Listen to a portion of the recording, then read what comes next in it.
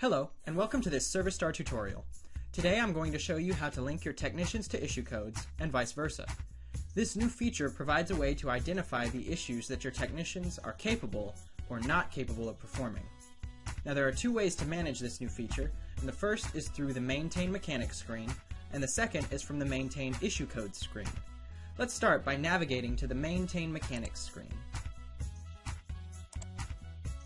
As you can see on the right side of the window, there is a list that displays all of the issue codes that are in your system. I will explain how to use it in a moment.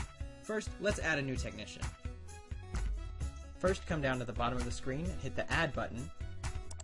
And now we're going to enter the technician's name and his ID number. This technician is just an example, so I won't be using a real name. If you have multiple shops, you'll now need to come down to the box at the bottom of the screen and indicate which shop this technician will work in. Now let's look at the list on the right. Like I said before, these are the issue codes that are in your system. All we have to do is click or check off each issue that this technician is capable of working on.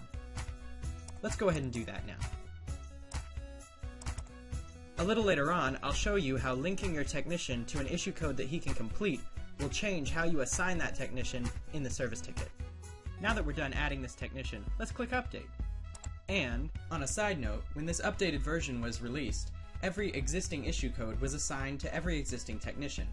To fix this, just click on each individual technician, hit edit, and then unclick any of the issue codes that don't apply to them. The second way to utilize this feature is from the issue side. So now we'll go to the maintain issue code screen. The only difference when you manage this feature from the issue side is that you'll be adding all of the technicians that can work on a specific issue instead of all of the issues that a specific tech can work on. Let's start by adding a new issue. First, we'll enter the issue code, and then we'll give it a description.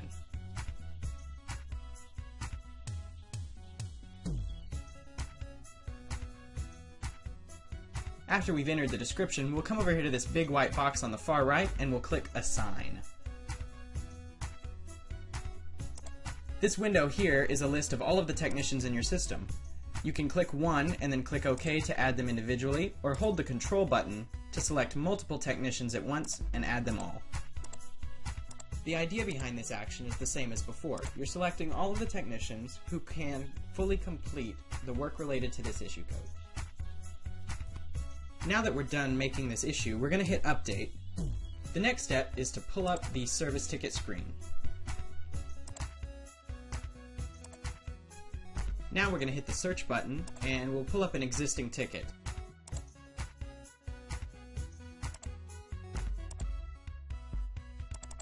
Now we're going to click the edit button so that we can make some changes and we'll go up here to the combined view. Next we're going to add an issue by right clicking and selecting add issue and we'll enter that issue code and then hit tab and it'll all populate. Now we're going to come down here and add a mechanic. As you can see, all of the mechanics that we've selected for that issue are highlighted blue, and our technician 12, who we didn't select, is white. That means he's not really preferred for the job. So we're going to go ahead and select one of our blue technicians and hit OK to add him to the issue.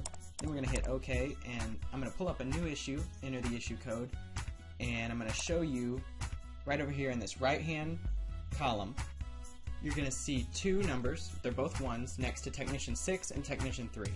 This means that you've got two tickets that are open right now that already have this issue on them, and you've assigned that issue to those two technicians.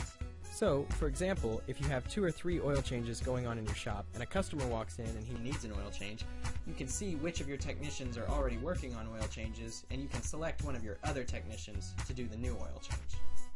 I'm just going to go ahead and pick tech number 4 and add him to the issue, and we'll go ahead and close out this issue.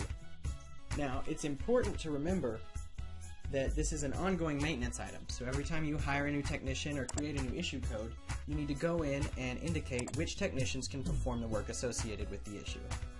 And that's how you link your technicians to issue codes. Thanks for watching this tutorial.